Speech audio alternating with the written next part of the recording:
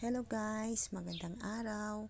Ngayon magluluto tayo ng mashed potato at kung paano ito gagawin.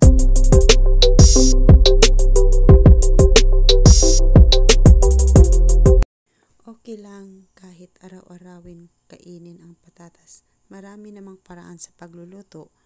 'Di ba? Pwede gamitin sa menudo, asado, kaldereta o di kaya mashed potato at iba pa. As long as niluluto mo na, hindi masyadong marami ang asin.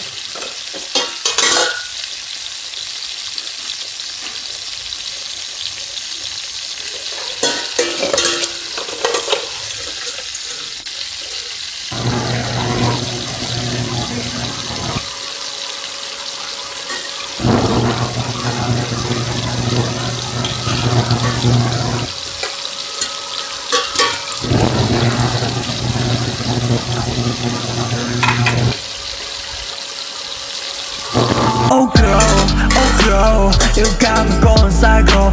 Oh I know, I know, đi bụi đâu hay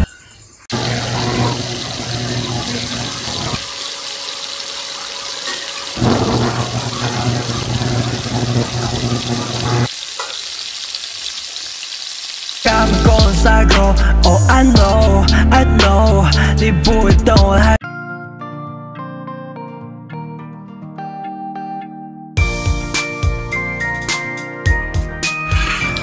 还。Namumuni siya ang